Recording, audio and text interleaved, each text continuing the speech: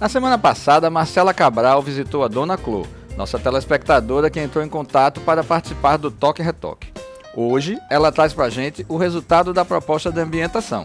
Vamos conferir? Olá, pessoal. Hoje estamos aqui com Dona Clô. No programa passado, vocês viram que a gente foi até o cantinho dela, né? O ateliê, que é tudo num só ambiente, para ver o que é que ela desejava para melhorar ainda mais aquele ambiente de trabalho e acabando ser, ser um hobby, né? Também um lazer.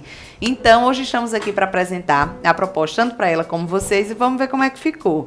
Dona Chloe, aí, o que é que, como é que passou esse último, essa última semana? Tá ansiosa, tá muito, tranquila? Muito curiosa, Marcela, muito curiosa uhum. mesmo, porque quero ver ah, que, que, milagre que você fez para o nosso cantinho lá pequeno, né?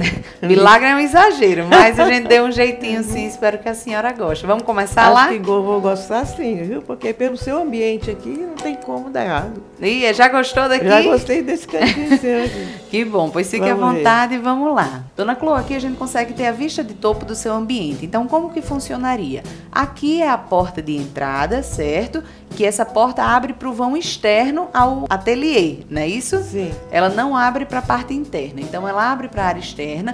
E aqui a gente já tem a outra porta que seria do banheiro. E essa sim que invade a área do seu ambiente. Sim, abre para fora. Exatamente. A senhora já falou que tinha um lugarzinho que gostava de trabalhar, né? Também. Que era um lugar, um lugar estratégico ali para ficar em contato com o restante da sala. Então você vai ver que eu realmente não mudei muito essa parte do layout em si, porque você já está muito bem acomodada lá. Então o que a gente fez foi aumentar a área, o espaço para armazenamento, para ficar tudo à mão, como a senhora bem falou Sim. no último programa. Sim. Então vamos lá. Aqui a ideia foi a gente estabelecer uma prateleira suspensa no ambiente todo, certo? Essa madeira seria em pinos. Inclusive, pessoal, vocês não estavam nessa parte da gravação, mas assim que acabou a última, o último episódio lá né, na casa de Dona Clô, ela falou que o novo desafio dela agora era comprar uma máquina de marcenaria, que ela queria muito trabalhar com algumas madeiras Verdade. e citou o pinos. Tá, tô mentindo? Não, foi exatamente isso que eu falei. Então pronto, então aqui eu já tô dando o primeiro trabalho dela, que vai ser construir a sua própria prateleira. Então aqui a ideia... Legal, gostei. Pois é, então vamos seguindo. Aqui nessa parte suspensa a gente colocaria espaço para mais caixas e nesse outro lado aqui a gente pode já colocar o split, que a senhora falou que queria climatizar porque estava muito calor, né, lá, estava desconfortável. O sofá eu continuei exatamente onde estava. Pronto, aqui nesse outro lado a gente consegue ver a mesinha de costura que a senhora já tem, certo? E ao longo de toda a extensão desse L de trabalho, eu coloquei o pegboard que é um painel em MDF perfurado. E nele a gente consegue dispor vários, vários elementos que ficam ali tudo à mão. Pode ser as ferramentas que a senhora disse que tinha, Sim. pode ser a parte dos rolos, da, da, das linhas, da lã, o que tiver ali também vai ficar à mão. Também dá para dispor alguns algumas espécies de haste metálica que a gente coloca a prateleira em cima. Então, assim, esse, esse pegboard realmente serve para muita coisa e a gente acaba realmente, utilizando é essa extensão. Útil, é. Eu já tinha pensado nisso no pegboard, sabe? Então, já gostou do pegboard? Já, nossa, adorei. Estou extasiada assim, olhando para esse projeto. Ai, que já ótimo. Gostei. Clareou tudo, né? Porque nós temos lá um, um pouco de escuridão. Exatamente. O que foi que a gente fez aqui? Como a gente agora já vai utilizar o split, então a janela não precisa permanecer toda toda hora aberta. A gente propôs uma persiana nessa área também para esconder um pouco da esquadria, que ela é bem escura, para trazer mais leveza ao seu ambiente. E nessa lateral, o pegboard. Aqui a gente propôs uma nova bancada de trabalho, porque aquela, né, eu acredito já tenha sido reaproveitada, é, alguma sim, coisa assim. Ela então, ela ficaria mais livre, não tem mais aquele ele elemento central que impede a passagem sim, ali por baixo, né? Atrapalha Realmente um pouco. Atrapalha, bem pensado. É, que ótimo, tá gostando.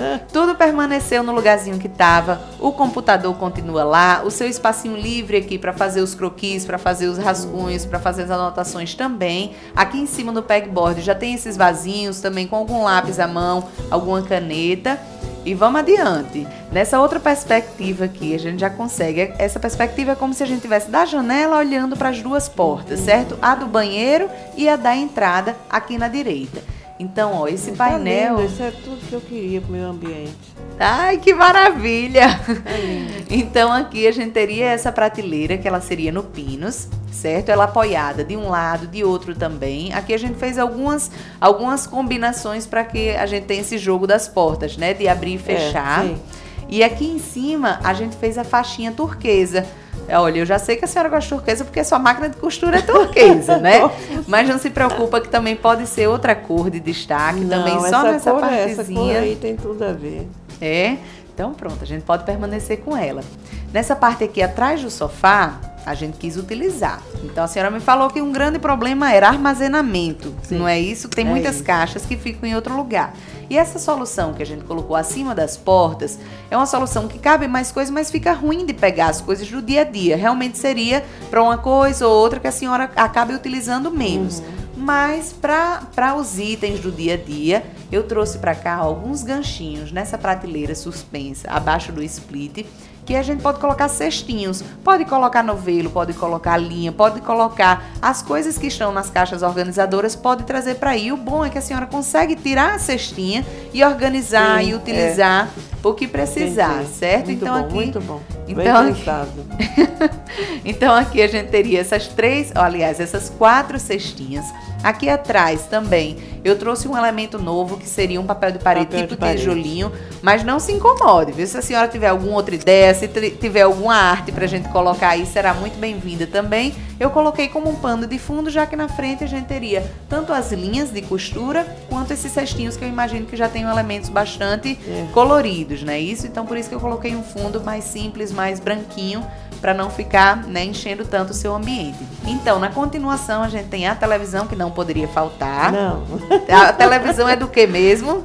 É, karaokê, né? do- exatamente. Tem um videokê ali também que eu não ele é inseparável de mim. Ah, também. é o videokê. Ele faz parte da minha vida. Então ele continua aí, do jeito que a senhora falou que tinha que ser. Aqui embaixo a estante também continua, porque hoje em dia ela já é útil, né? Ela já Aquela acomoda. mesma que tá lá é só Exatamente. dar uma recuperada. A gente pode dar uma recuperada, pode até de repente fazer alguma pintura diferente também, mas aqui eu coloquei ela toda pretinha, só dando uma revitalizada pra gente manter o que já tinha, certo? Aqui em cima, a gente para ficar um pouco mais livre, a gente pode colocar essa televisão fixada na, Na parede, parede. e aí a gente já tem esse espaço a mais tanto pro videokê como também pra organizar os controles, algum vasinho extra, uma coisa assim É, também e já dá deu, certo. E você deu um sumiço nos- na fiação Na toda. fiação, pronto. Mas para fiação, se a gente não utilizar painel, a gente vai ter que embutir pela parede, certo? Mas É. não se preocupe que Não, é. Tem que ser feito, né? Tem que ser Se feito. Se quer- incomoda, se né? incomoda, tem que ser feito. Exatamente. Nada mais de fios. Tá lindo, muito bonito. Você, você realmente deu conta do recado, fazendo um trabalho muito bem feito num espaço tão pequeno, né? Que a gente tem um espaço 3x3 ali, né? Parece É. Você vê que não é muita coisa. Mas dessa forma aí, ali, e agora o branco abriu o ambiente também. Né? A impressão que tem é que eu tenho agora muito mais espaço. Vou ter. Que ótimo, então. Maravilha, adorei. Muito obrigada. Que bom, Dona Clô. Eu que agradeço a confiança, gente. Dona Clô realmente chegou achando que seria um grande desafio, porque já fazia um tempo, né? Que a senhora tentava Sim, organizar é, eu ali. não conseguia pensar em nada. É. Ah, Então eu vi que realmente eu, eu- que eu precisava da, da, da opinião, de opinião não, né? Do trabalho de uma profissional na área. Que Porque a ótimo. gente, quem não estudou para isso, não tem como fazer, né? Ainda bem, né? Que a senhora Ainda bem. confiou então É. e eu tive a honra de fazer. Tá bom, então é isso, pessoal. Dona Clô, pelo que ela tá falando aqui, ela gostou muito Eu do gostei projeto. muito, gostei muito. Espero que vocês também tenham gostado. Acompanhem aí nossas imagens do antes e do depois. E aproveito também para convidá-los a participarem do nosso programa. Quem quiser receber a gente do Toque e Retoque aí na sua casa, para dar aquela organizada num ambiente específico, seja na sala, seja no quarto, escreve para o nosso e-mail, certo? Que está aparecendo aqui embaixo. E vai ser um prazer ir até a sua residência também dar um toque e retoque.